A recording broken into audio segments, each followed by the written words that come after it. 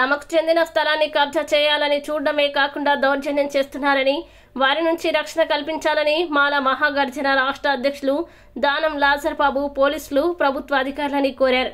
VJF press క్లబ్లో ఏర్పాటు చేసిన మీడియా సమావేశంలో ఆయన మాట్లాడుతూ పీఎం పాలెం పరిధి బక్కన్నపాలెం డెబ్బై నాలుగు బై ఒకటి సర్వేలో తొమ్మిది వందల పదమూడు చదరపు గజాల స్థలాన్ని రెండు వేల తొమ్మిదిలో దళిత ఎన్ఆర్ఐ కె పద్మకుమారి కొనుక్కున్నారని తెలిపారు. చుట్టూ ప్రహారీ గోడ కట్టి పనులు యథావిధిగా కడుతూ వస్తున్నామన్నారు. లీగల్గా అన్ని హక్కులు కలిగి ఉన్నామని అయితే తమ భూమిపై కన్నేసిన బి. శ్రీధర్ రెడ్డి రెండు వేల పన్నెండులో జీపీఏ పొందినట్లు కోర్టులో వేయగా పద్మకుమారికి ఇంజెక్షన్ ఆర్డర్ ఇచ్చారని తెలిపారు. కోర్టు ఆర్డర్ని ధిక్కరించి పద్నాలుగు సంవత్సరాల తర్వాత రౌడీలతో వచ్చి వాచ్మెన్ ఫ్యామిలీని కొట్టి బయటికి గెంటేశారని ఆరోపించారు. వెంటనే పీఎం పోలీసులకి ఫిర్యాదు చేశామని తెలిపారు. ఇప్పటికైనా అధికారులు స్పందించి దౌర్జన్యాన్ని అరికట్టి తమకు న్యాయం చేయాలని కోరారు. మీరు ఈరోజు నా పేరు దానం ఆదర్బాబు మాల మహాగర్జన రాష్ట్ర అధ్యక్షుడు కానీ ఈ వైజాగ్ సిటీలో మా దళితులు చిన్న ఉద్యోగం పెద్ద ఉద్యోగం చేసుకుని ఏదో చిన్న సైజు అది గట్ట కొనుక్కుంటే. మరి మా సోదరి పద్మకుమార్ గారు ఆమె ఎన్ఆర్ఐ ఎంప్లాయ్.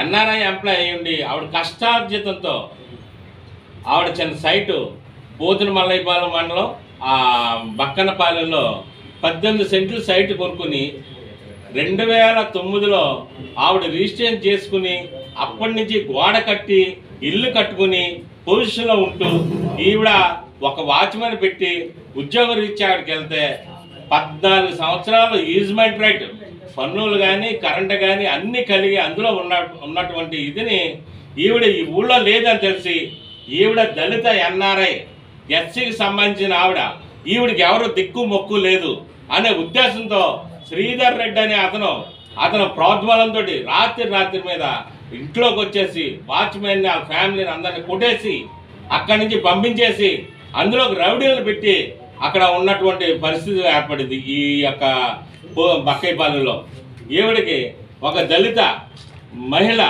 ఈవిడ అన్నారై ఈవిడ సరిగ్గా ఉండలేదు. ఈవిడ ఏమైనా చిన్న కేసు పెట్టామంటే ఇక్కడ వెళ్ళడానికి ఉండదు. భయపెట్టేసి ఈవిడిని ఆ యొక్క ఆస్తిని ఆక్యుపై చేయాలని దొంగ సర్టిఫికెట్లు సృష్టించి మాకు పక్కాగా ఎనభై ఒకటిలో ఒక రిజిస్ట్రేషను ఎనభై మూడులో ఒక రిజిస్ట్రేషను రెండు వేల ఆరులో ఒక రిజిస్ట్రేషను ఎస్ఆర్లో గవర్నమెంట్ ఎస్ఆర్లో మాకు నమోదై ఉంది.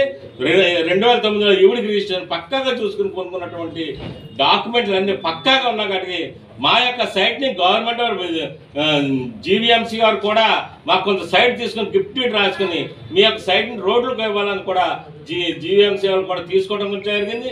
ఆ సర్టిఫికేట్లు అన్నీ ఉన్నాయి. అయినా కాటికి మరి ఈ యొక్క దౌర్జన్యం అతను ఏమన్నాడంటే పోలీసులు మా వాళ్ళు మాకు వైఎస్ కొండారెడ్డి హరినాథ రెడ్డి ఇద్దరు ఉన్నారు ఇద్దరు పోలీసులు చెప్పారు. మాట్లాడితే ఏమంటే పోలీస్ ఏంటండి పోలీస్ స్టేషన్ అండి మేము మా మేము ఫోన్ చేస్తే వాళ్ళు ఎవరు రావట్లేదు. మేము ఎవరికి ఆల్రెడీ కంప్లైంట్ ఇచ్చాం. కంప్లైంట్ తీసుకున్నారు. దాని మీద యాక్షన్ లేదు. కమిషనర్ గారు కంప్లైంట్ ఇచ్చాం. దాని మీద యాక్షన్ లేదు. ఏం చేయాలండి? మా యొక్క డబ్బులు పెట్టి కొనుక్కున్నటువంటి ఆస్తిని అన్యాక్రాంతం చేస్తుంటే అధికారులు కానీ ప్రభుత్వం కానీ మరి ఈ ప్రభుత్వంలో ఎంత దౌర్భాగ్యమైన పరిస్థితి? ఎప్పుడు నేను చూడలేదు.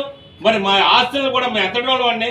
మా ఆస్తులు పక్కాగా మేము కొన్ని ఏమైనా మోసం చేశారా దొంగతనం చేశా మేము ఏమైనా చేసా కష్టపడి సంపాదించిన మాలో ఎవరో ఒకరిద్దరు బాగుపడతారంటే అది ఎలా కొనుక్కుంటే? ఆ ఆస్తులు కూడా అన్యాక్రాంతం చేస్తుంటే మరి పోలీసు అధికారులు పట్టించుకోవట్లేదు. మరి ఎవరో పట్టించుకోవట్లేదు.